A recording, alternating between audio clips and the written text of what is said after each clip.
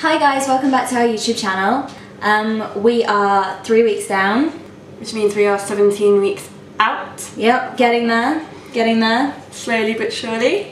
Been a good week for me. Um, I don't know about you, but I've had a really good week training. Obviously had my op, so I was feeling really down last week because I wasn't training properly. But today, um, well this week in general, I've really managed to pick it up. So haven't been doing as heavy sessions. In fact, all of my sessions have been really light, but they've all been um, really efficient. I've worked really hard, got a good sweat on, and yeah, I've been keeping it light but effective. So it's been a good week for me. What about you? Good, yeah. Um, yeah, mine's been good. I'm still doing the. I've been down to the gym like six days. It will be six days this week, so that's quite good for me. I was yeah competing on Wednesday and was down at the stables Tuesday night.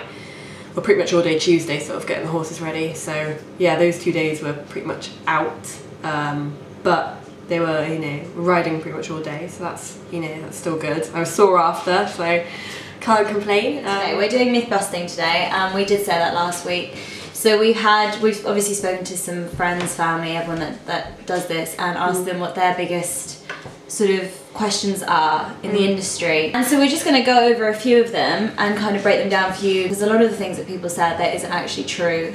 So one of the biggest ones is you have to squat to get a big bum. Guys, this is not true. This is definitely, definitely not true.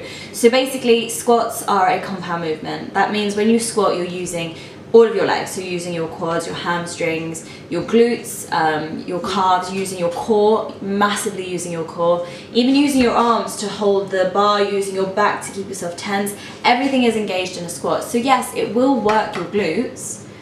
But if you're trying to focus on building your glutes, you need to be doing glute isolation exercises. So um, cable pull throughs, hip thrusts, glute bridges, kickbacks, um, good mornings, things like that, where it kind of focuses more on your glutes, are going to be building your glutes a lot better than squats. So when people say squat every day, the squat challenge, all of these squat things, yeah, they're good. They will give you really nice shapely legs. But if your goal is to ultimately focus on building just your glutes, you need to do glute isolation exercises. Another big myth, guys. Um, people say do 100 crunches before bed to get abs, or do do 100 sit-ups every night and you'll get abs. Not not true. Number one, abs are massively made in the kitchen. Um, that is true. So your diet, the leaner you are, the more you'll see your abs. The other key thing that is really crucial to, to understand is that your abs are engaged most when you're upright. Um, so your abs are constantly working. Your your core muscles are constantly working to keep you up, to keep you balanced. When you lie down and you start doing crunches, you're immediately taking away their sole purpose.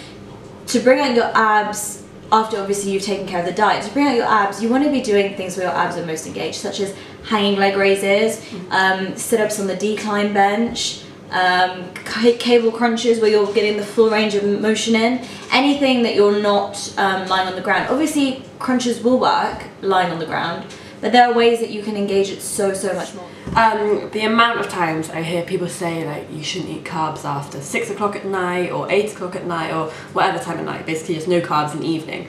Um, well, it's, it's rubbish, really. Um, I mean, there was a study that looked at sort of um, like carb timing in a way, and it actually showed that the people who ate more, they ate eighty percent of their carbs in the evening, they actually lost more weight than the people who ate most of their carbs throughout the day. Oh, really? Yeah, yeah, yeah. So I didn't know that. I mean, they're not saying that you should eat, you know, you should save all your carbs for the evening, and that's not the, thing to do at all. But it's basically just when I say that, like, you know, don't be too worried if you do need you know, need to eat your carbs in the evening. it basically works around when you train as well. So mm. like for myself, I train early in the morning, so I will have the majority of my carbs in the morning just because that's when I'm training. A lot of people train in the evening, so of course you're going to want to have your carbs before bed. You're not going to want to restrict your carb intake then because that's when you need the energy ultimately. There's no rule that says if you have a bite of pasta after 6 p.m. you're going to get fat. That's not true. That's essentially what Alex is trying to say. Um, yeah, basically, you know, your body doesn't know whether you know you're getting a carb in at like three o'clock or you know six o'clock. It doesn't mind. It doesn't matter as long as you're getting it in Yeah. your body.